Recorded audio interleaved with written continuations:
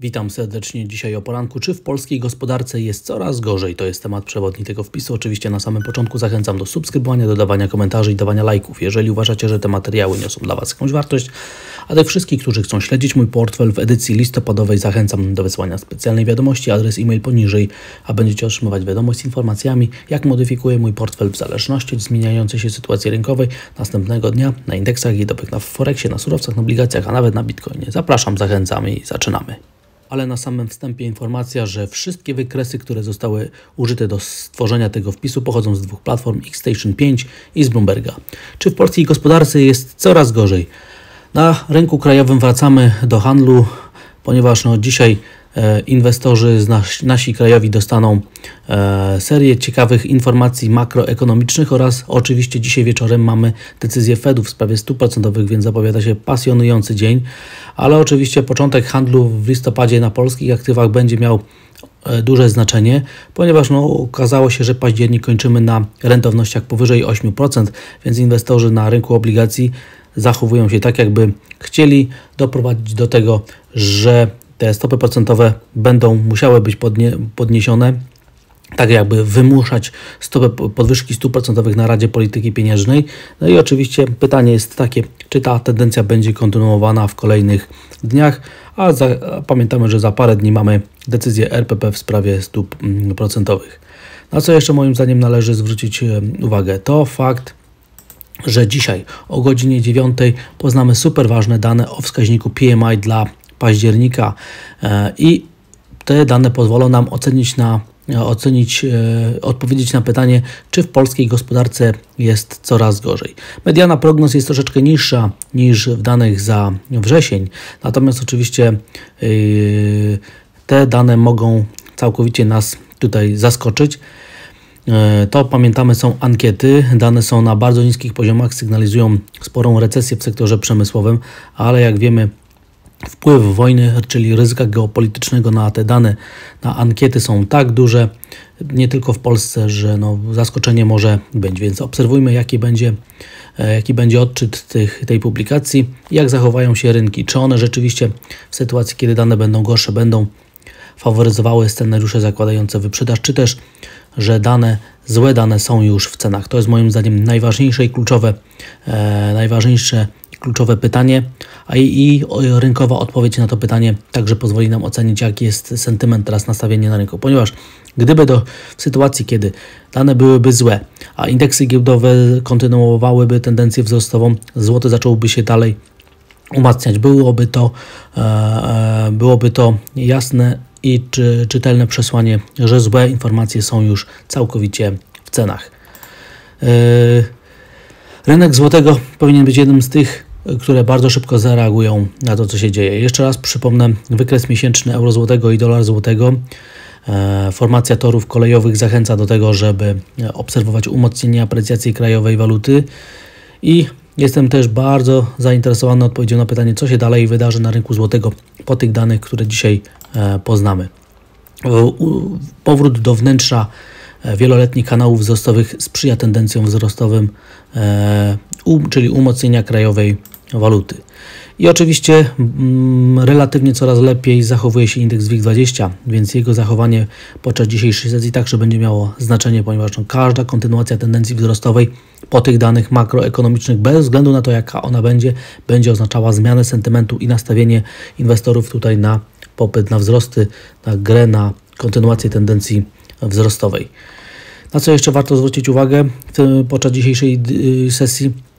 Poza Fedem oczywiście na dane makroekonomiczne o, e, o mm, sytuacji na rynku pracy w Niemczech. Te dane e, odnoszą się do października, więc są one takie bliżej, najbardziej świeże. Składają się one z dwóch publikacji: zmiany bezrobotnych i e, ze stopy bezrobocia. Ten pierwszy wskaźnik jest w tym wypadku wyraźniejszy, bardzo istotny i o godzinie 13.15 poznamy wskaźnik ADP E, zmiana zatrudnienia w sektorze e, prywatnym. I w takiej sytuacji ona także powinna mieć wpływ na rynek, chociaż oczywiście dzisiaj i tak wszyscy żyją Fedem na całym świecie i ten Fed dzisiaj o godzinie 19 będzie kluczowy, miał zdecydowanie najważniejsze znaczenie dla rynków finansowych. Jeszcze, jeżeli jesteśmy na rynkach finansowych i oceniamy siłę albo słabość popytu na ryzyko, to obserwujmy tego bitcoina, ponieważ no, w ostatnich dniach udało się potwierdzić znaczenie wsparcia 20 tysięcy dolarów, który jest teraz wzmocniony przez przebieg najszybszej linii trendu wzrostowego. Wniosek jest taki, utrzymanie nad poziomem 20 tysięcy dolarów faworyzuje scenariusze prowzrostowe i tak to należy moim zdaniem odczytywać. E, na rynku ryzyka patrzymy oczywiście na zachowanie indeksu S&P. Wczoraj nie udało się utrzymać wysokich poziomów. Mieliśmy do czynienia z korektą spadkową. Jestem też ciekawy, jak, to, jak rynki światowe odbiorą tą wczorajszą sesję na Wall Street, chociaż moim zdaniem i tak rynek powinien dzisiaj spokojnie czekać na wydarzenia, które będą miały miejsce dzisiaj wieczorem. Z ciekawostek oczywiście warto zwrócić uwagę, że październik był najlepszym miesiącem dla indeksów na indeksu Dow Jones, Dow Jones Industrial Average od 1976 roku. E, I e, jeżeli jesteśmy przy rynku ryzyka, patrzmy także dzisiaj na zachowanie amerykańskich obligacji, ponieważ no, rentowność na poziomie 4% jest tutaj kluczowa. Każdy, spad, każdy spadek poniżej tego poziomu na zamknięciu e, dzisiejszego dnia będzie oczywiście sygnałem, że te podwyżki stóp procentowych są już w cenach. I oczywiście rynek zwraca uwagę na to, jakie jest teraz powiązanie zachowania rynku surowców względem perspektyw co do stóp procentowych, więc no, rynek sugeruje nam, że dla Fedu zachowanie cen surowców będzie miało kluczowe znaczenie. Na rynku ryzyka mamy sesję w Azji, która nie jest dzisiaj dramatyczna, więc moim zdaniem optymizm na giełdzie w Europie powinien mieć miejsce. I oczywiście dzisiaj także po Fedzie kluczowe będzie zachowanie euro-dolara, który oddala się od poziomu parytetu, ale jesteśmy także nad krótkoterminowymi wsparciami, więc jeszcze wszystko jest w grze. Ta dalsza presja na umocnienie amerykańskiego dolara może wystąpić. Dlatego prawdopodobnie dzisiaj do godziny 19 niewiele się wydarzy, a po tej godzinie zmienność może być e, ogromna. I jeżeli jesteśmy na eurodolarze, to średnioterminowa perspektywa pokazuje, jak działa średnia stusesyjna dla inwestorów. W takiej sytuacji inwestorzy obawiają się, że jednak ten amerykański dolar może się dzisiaj umacniać, ale oczywiście wszystko jest w grze i każdy scenariusz może wystąpić. Na rynku surowcowym obligacje i oczywiście amerykański dolar każe nam patrzeć na zachowanie ceny złota. Tutaj jak widzimy na przestrzeni ostatnich y, kilku tygodni ani nie chce być pokonywane wsparcie, ani obór, czyli konsolidacja trwa i w tym wypadku yy, raczej sytuacja faworyzuje scenariusze pro-spadkowe, ale w, yy, wzrostowe odbicie także nie jest nierealne. W takiej sytuacji obserwujmy zachowanie ceny złota w rejonie 1675 dolarów, natomiast optymizm widać po wczorajszej sesji na rynku miedzi i to burzy ten scenariusz zakładający spadki wynikające z zachowania indeksów giełdowych na Wall Street.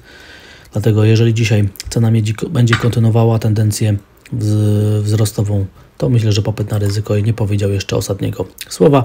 I patrzmy także na zachowanie ropy naftowej z powodu no, zbliżających się wyborów w Stanach Zjednoczonych, a tutaj ropa naftowa zbliża się do poziomu 90 dolarów, gdzie już mamy kolejne opory, gdzie mamy E, górne ograniczenie horyzontu cenowego, więc e, może wkrótce rynek e, czekać jakieś wybicie, ale oczywiście moim zdaniem poczekamy z takim wybiciem aż na wynik wyborów w Stanach Zjednoczonych. Także zapowiada się ciekawa sesja.